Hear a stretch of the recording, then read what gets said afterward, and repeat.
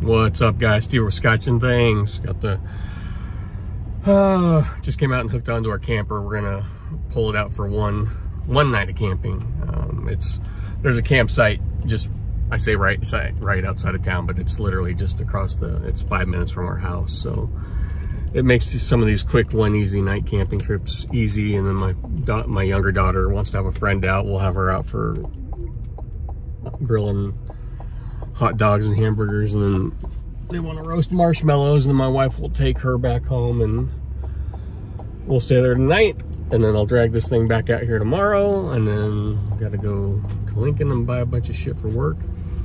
Ugh, it's always a pain in the ass. My father-in-law, I uh, like every time I come out here to get my camper or something for work because my shop for work's out here too. Is where I if he's outside and he catches you, he's just a talker, man. You just got, you know, you've just added 30 minutes onto, onto your trip. Fuck. So you're gonna get two videos today. Uh, I got, don't worry guys, I got the knife unboxings. Uh, I got those, my three knives in and I really enjoy them all. I know I, I like every knife. I really, these, I'm really digging these three. They are very awesome knives. Um, one I'm gonna do like a kind of a quick update on because I unboxed it Wednesday night when I got home after I showered. It was like midnight. I was tired and didn't really, it was just kind of like, here's a show and tell, but I didn't really show or tell on, I, I feel like I didn't do the knife justice. It's a very, mm, very nicely made knife. Um, but uh, real quick, knife stuff. I talked about I was gonna sell some stuff and I was gonna try and sell some stuff last time I came home, but then you always say you're gonna sell and you're like, eh, it's such a hassle. I gotta take pictures and you gotta answer all these questions. But I knew I had to get uh, the Grimsmo stuff, some pictures to Merso. Um, so then I just took the picture, what I have? Uh, this first round, seven, 10, 10 knives I listed, sold seven, six of them, one guy bought six. Crazy. Um, I've done business with him before, so that was uh, easy. Like he was like, "Oh, I'll take those two. and he's like, "What's that one?" I said what it is. Oh, what's that? Oh, I'll take this. So I was a little worried about my PayPal transactions because he three separate PayPal transactions for like three grand. I'm like, damn. So, I, you know, made a lot of money yesterday. That's nice. Um, but I'll just stick that away because I've got Donnie's knife coming up and then um, got a, another custom on order that I put the deposit down about a month ago and I'm not sure the time frame um, but so those knives are all paid for now which is nice. That's what's fun about this hobby you know? You've already spent the money. Well if you want to buy other stuff you can sell stuff and it doesn't really cost you any like other than the initial purchase does that make sense? You can keep reusing that same knife money that you've already spent if you sell stuff to get new stuff. So it's not I mean it is terribly expensive what we what we're doing but if you're like I said if you're if you're willing to move stuff and you're not just hoarding stuff and I become a hoarder so it was nice like you know sold a bunch of stuff yesterday and made some decent money and that's just money I can use to buy other knives instead of putting out other money. Um, but yeah, so, but I forgot, so the guy bought six knives. I was like, shit, okay, I'm gonna, and I usually ship um, everything United States Postal Service because we've got a post, we're a small town postal service. I'm like, man, that's a lot of money and a lot of knives in one box. So I'm like, oh, and I forgot we do have like an office supply store in town that has a UPS FedEx thing. So I was like, all right, I'll just go in there, ship them insured and all that good stuff. And, um, god damn, they're expensive compared to United States Postal Service. While I was there, the single, the one guy that bought the single knife, it's usually 10 bucks to ship priority through the post office. It was $28 through FedEx, which I don't know if I'm doing something wrong. And guys are always talking about pirate ship, and I just don't know if I want to invest any more time into having a specialty shipping thing. Um, so yeah, I've got, so seven sold. I've got the Grimsmo Rask left. It's brand new. Um, never been carried. I, I got it and I flipped it, and but I've got, like I said, four of them, and I didn't need this one. Um, it's got no special date or special meaning or anything, so that uh, it's brand new. So if someone wants that, 800 bucks. Um, I've got the Microtech Stitch Ram Lock in black with the black blade, brand new, 300 bucks. Uh, can't remember what else. I might sell that, one of you guys, I won't say your name, but one of you guys hit me up last week after, or two weeks ago, I guess now, after I showed that Kershaw tilt. And he's like, hey man, if you want to sell that, let me know, because prices are insane on those.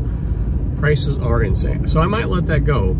Um, it'll be, I'll let him know, it'll be 600 bucks. I paid 500, but I paid 70 some dollars in tax and shipping, so $600 I think is fair, seeing that the going rate on them now is a $1,000 and up. Um, so, Or, you know, it's one that, like, I really like that knife. I really like it. It's cool. It's a cool collector piece, but I don't know if I want to just hold on to it. Like, I've got so many other knives, like, but then is it one in five years? Am I going to be like, damn, I shouldn't have sold that? Because I'm not buying these things for investment or money, but why don't you go on eBay and see if you can find yourself an old Kershaw tilt and see what they're going for. And like I said, these new ones are going for thousand plus dollars. Um, so there's that. Uh, what else? Yeah, the three that I'll like I said, I'll upload two videos today so you get one of the knife unboxing videos. The, the three that I got in this weekend, I'm really like them. Really glad I got them. Um, else? What else? Oh, and one guy, man, jeez, you know, the guy that bought the single knife I had never done business with before, but we've got a bunch of mutual knife friends on Facebook. And if you were any kind of person, you'd know how to Facebook stalk people in the knife community to see if they're legit or not. I know there's lots of scammers out there, but these guys with their fucking timestamps and this and that and pictures and gave him a timestamp with the knife. And then 10 minutes, I didn't want to do PayPal. He's like, well, I'll, uh, PayPal, I'll, goods and services, I'll take the fees. I'm like, no, I will not. I only accept PayPal friends and family because that protects me. And if you do goods and services, the goods and services gets can get reported for taxes. I'm not dealing with that. So if you want the knife, this is these are my rules.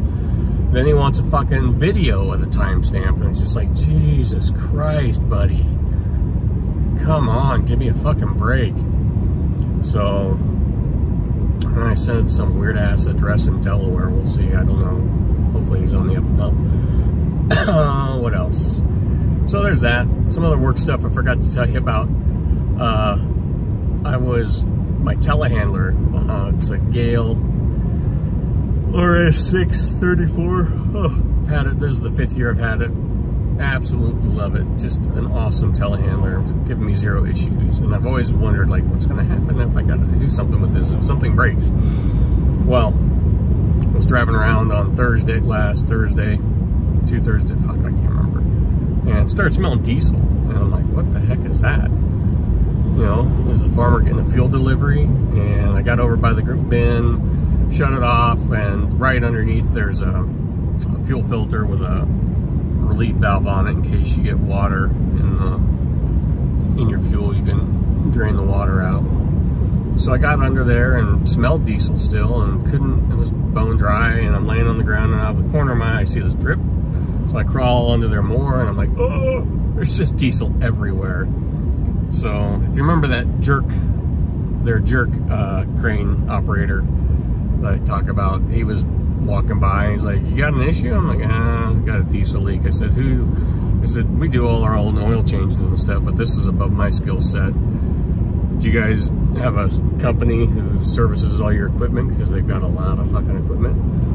And he's like, yeah, but I, I can't tell you who it is. I'm like, what? Wow, I can't, I can't tell you. I'm like, whatever. So I went and called the owner, Neil, who's an awesome guy, and gave me the number right away for the company that you use to service all their equipment. And they make house calls. They have mobile mechanics, which is awesome.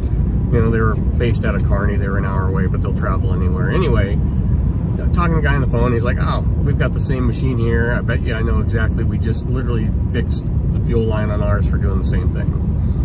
And he goes, "My service tech wants to take off early Friday, so I'll send him out to you." Man, he was there by eight o'clock. An hour and a half later, fuel line was fixed. He zip tied it down so it didn't do the same thing. Just over time, it rubbed against the frame, and I couldn't see anywhere. You take the engine cover off, and you're like, "What the hell is all this shit?" Um, so just weird. Like, why wouldn't you tell me the company you use? And then you come out, and I'm sure this guy's charging me by the hour when he's there, and you want to talk to him. Not on my fucking dime. God, these guys, I just want to choke them. So, yeah, there's that. So, um, yeah, kind of cool. Kind of liberating selling a bunch of knives, you know? Like I said, you just, it just is cluttery. Like, to have them is cool. Whoa! to have them is cool, but it's like, why? Why? Oh, so the so is the that Duravish was an awesome knife, but God, if I'm gonna carry something like that, I'm just gonna grab an SMF, you know. Um, just other stuff. Sold the other rostrum I had because I got the titanium rostrum, which I really, I just prefer the titanium over the carbon fiber. Uh, the Pocket Monster, which you guys never saw, so I'll never upload that video. Uh, just a bunch of other stuff. So he bought the Norseman. So like I said, I got a ra brand new Rask for sale still, brand new stitch. Maybe that Kershaw tilt. Um, I don't know. Like I'm torn on that one because I really like the knife, but I really haven't had a chance to carry it. Does that make sense? Because I'm I'm not going to carry a knife like that at work because it's thin and it'll break it and shit like that. Um, and it's not meant for that kind of work. Um, but uh, yeah, I, I, mean, I've just had hands-on time with it, just flipping it. So, and I, I like I said, I like it, but I'm, I'm kind of torn. You know, give it to someone else who wants it, or for a good price, sell it for a lot more money, or keep it. Um, so I'll probably I'll probably move it on to him if he wants it still. Just because, like I said, it's it's kind of nice just to kind of push stuff out. And then that's money for, you know, like I said, now my Donnie Vless knife, the cash is there. That other custom I've got on order is there. And there's some other money. I might uh, look into a Bober Blades um, Fifth Element or something. I really like that one Justin got. So, um, uh, if I remember, I'll contact him when I get home. But uh, I think that's about it, guys. Yeah, if you want something, hit me up. Maybe it's for sale. Everything's got a price. So thanks for watching. Talk to you later. Uh, I'm gonna go hook up the camper, and then, like I said, I'll get you, you know, over the next three days, you'll get a, the, you'll get to see the three knives I got this week. So, like I said, pretty cool. Pretty, you know, I was a little iffy on I, one. I've, I've I've got a version of it and I've had other versions of it. Maybe you can hear it. Can you tell that noise? Um, but I'm, I'm glad I got that one. And then this one was, can you tell by the sound? Um, you'll see in the unboxing. I, I kind of tried to, like I said, it was like almost midnight and I was trying to talk. But it's one I had seen in a pocket dump and just thought, that's fucking cool. And it is fucking cool and the machining on it is insane. So that's what i got for you guys. Thanks for watching. I'll talk to you